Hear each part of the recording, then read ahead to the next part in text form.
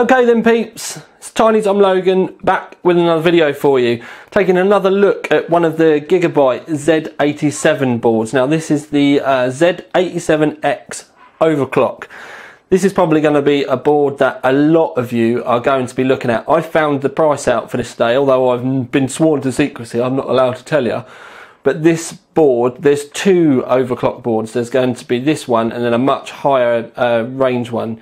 This one uh, is uh, incredibly aggressively priced. Um, and I was uh, actually quite shocked. It's an overclock board that you, you don't need to be a millionaire to buy. Uh, the other one is going to be much more expensive. Uh, they've essentially uh, stripped this one back. The other one is going to have extra features and stuff in it, more power phases and stuff will probably get you, you know, in the grander scheme of things, a higher overclock if you were, you know, freezing and all that kind of stuff. But this will do the majority of people proud, especially for the money. Obviously, we've not tested it or anything yet.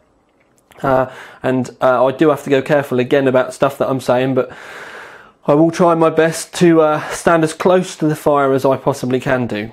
Now, uh, if you've not seen the other video that I did, then I have got another Z87 board um, live and it's the uh, D3HP. That's an even uh, a slightly lower price board than this. It's one of the more kind of entry black boards that they're going to be doing.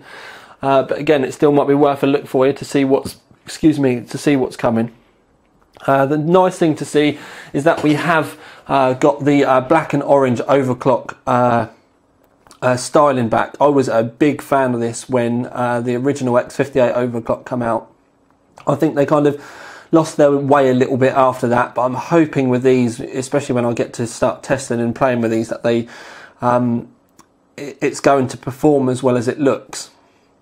Now there are a lot of features in and around the board uh, that uh, I'm kind of I'm not allowed to say too much about, and it is kind of difficult because I know everyone's going to be going, like, "Well, you should just tell us," but uh, I have to stick to these things, guys, or I wouldn't even be able to. I wouldn't even be given the chance to give you this early look in the first place. Now, what we'll do is I will pick the board up and I will show you around and about.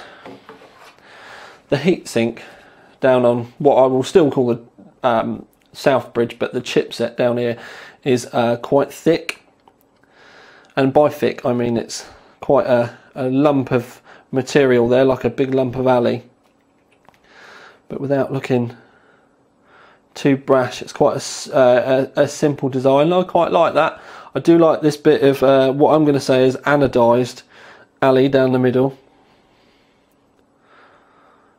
Does look quite nice. And if we look at the other heatsink, while we're talking heatsinks, this is the one covering uh, like the power phases and MOSFETs and stuff not as massive as you may expect for an overclock board.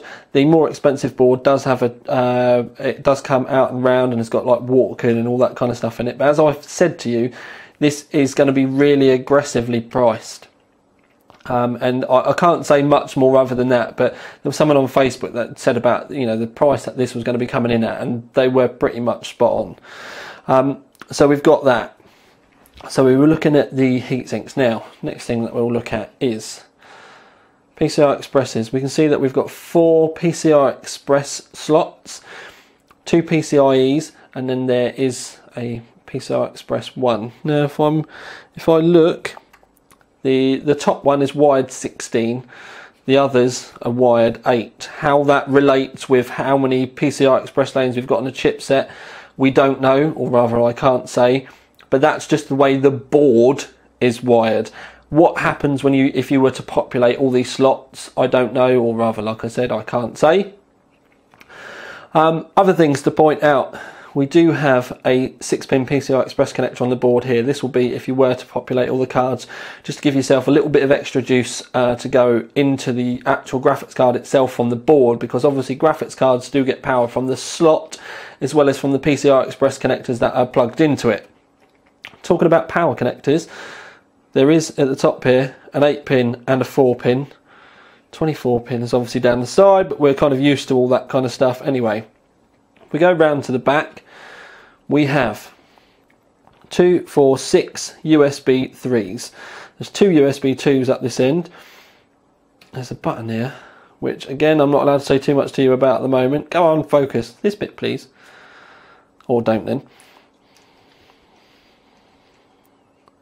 Um, but I can say this button is to do with uh, overclocking and it's not a CMOS clear button. Uh, we've got PS2 in a random place here, which I find quite amusing. Full sized uh, display port, HDMI, and then we've got uh, optical connection here. Gigabit uh, LAN, and then we've got um, HD audio there. Now, if we look, get it in there, we've got system fan one here, CPU fan up there, CPU optional fan there. I'm looking around because this is the first time I've seen it. We've got system fan, all that says system fan 5, so we've obviously got lots of other ones to find.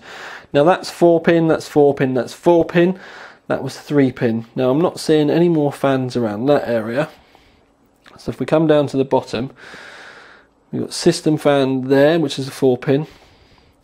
System fan there, which is 4 pin. System fan there, which is 4 pin. So we've got system fan 2, 3, 4, 5, and that was system fan 1. System fan 5 is the only 3 pin that I'm seeing.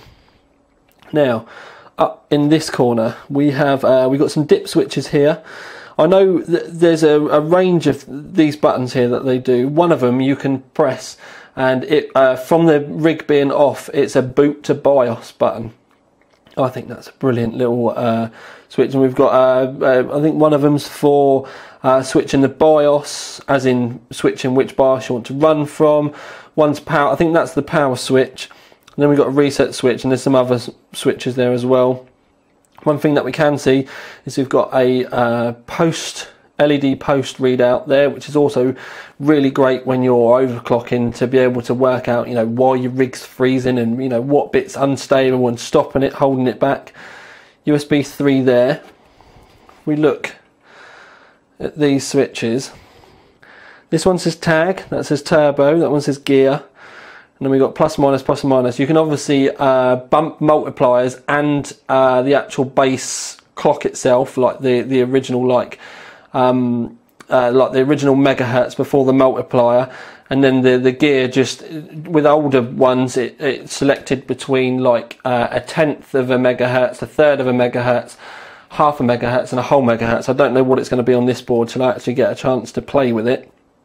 Uh, further around here we've got uh, this says it's a TGR switch. This is apparently a BIOS switch.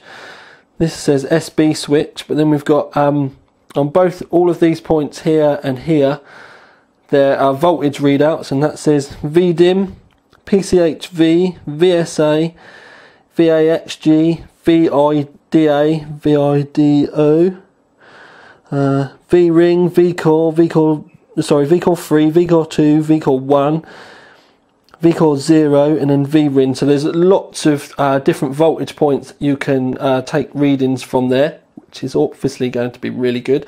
I don't know whether they're both voltage or whether one of them might be temperatures. I don't know. Again, until I start playing with this, I really can't tell you all the ifs, ands, or buts. Around the side, we do have six SATA connectors. Again, can't really say too much about uh, SATA 3 or SATA 2, but I'm sure you can work it out. Quite randomly, two um, onboard uh, and by onboard I mean like it's going to be on the inside. USBs could be great for overclockers that just want to leave them in there and stuff. But again, you know, when we uh, get round to using the system and reviewing the system, we will give you more info. Something I've just noticed down here is we've got a second USB 3 internal, USB uh, 2 internals there front panel audio. Again because you are obviously going to get a lot of people using this as their main rig board so they do need to cram other stuff in and not just benchmark stuff. Uh, now ah, a little bit further forward Tom. There we go. What we'll do is I will uh, I will give you a good look around the um, board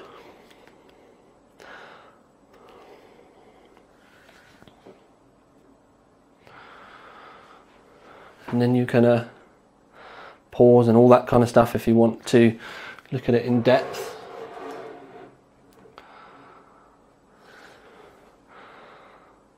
I'm just going to move the board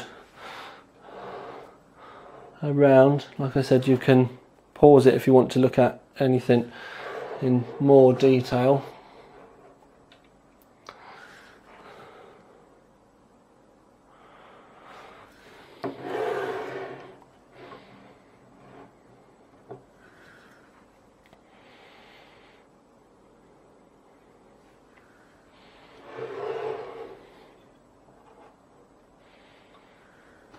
I know we've been here before, but I'm just trying to cover everything. In fact, let's have a look at it from this side.